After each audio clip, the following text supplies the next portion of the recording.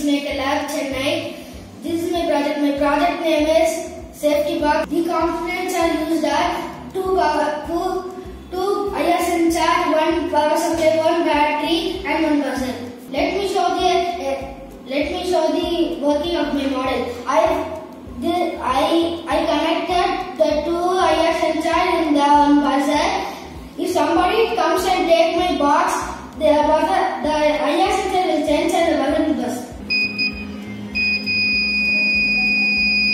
This is the working of my model. This is the uh, this is the circuit diagram.